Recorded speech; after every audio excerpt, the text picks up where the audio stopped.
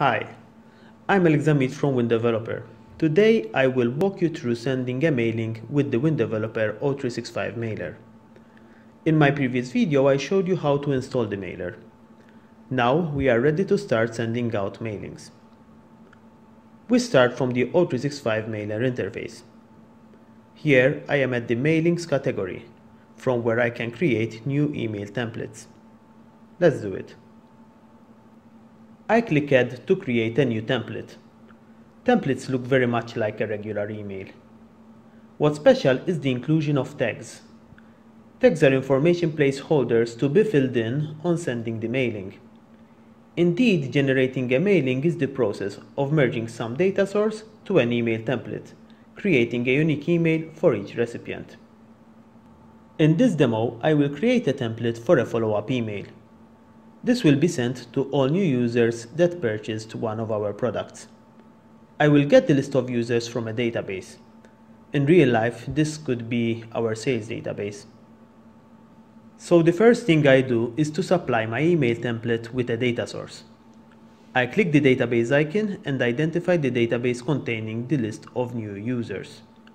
Here I could specify any Microsoft SQL database. The wizard will normally automatically detect the list of available databases. However, in this demo, I will be using a local SQL database for which I have to fill in the connection details. Next, we select the database table or view that provides us with the actual data. As you can see, clicking on the tables and views, I can see the data fields available to me. Okay, so we are now ready to fill in our email template. Initially, this only contains a recipient tag, which we need to configure. Of course, this is a placeholder for the email recipient address. So let's click the tag and select the database field that supplies us with the recipient address.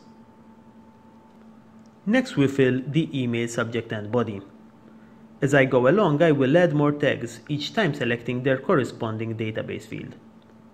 I supply each new tag a unique name.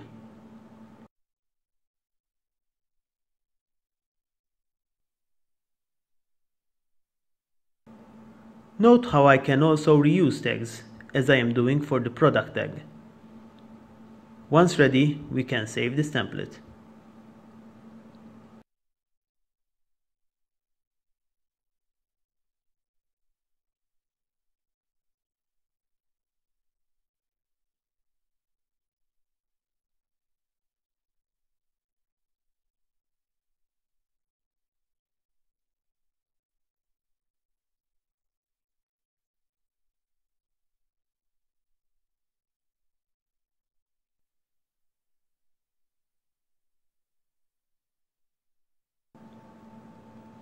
Now that we have a template, we can start sending the mailing. We launch the mailing wizard by selecting the template and clicking the mailing button. The wizard will help us review our setup, starting from the database configuration. Next, we have a sample of the data that is going to be merged into our template. Next, we can see what our emails are going to look like. From here, we can step through the data and see how each recipient will get its own unique email.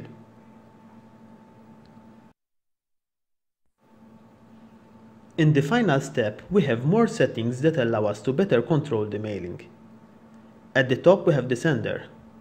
By default, the sender is automatically determined from our Office 365 login. However, we can override this behavior and send the mailing from any mailbox for which we have send as permissions.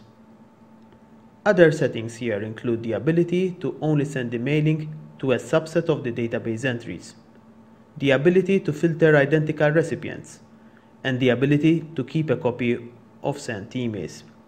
Just watch out not to get your mailbox flooded. So let's click go and start the mailing. Of course we are greeted by an Office 365 login. Let's fill this in.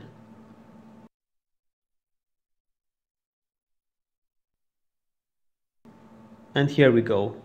We can see the mailing progress.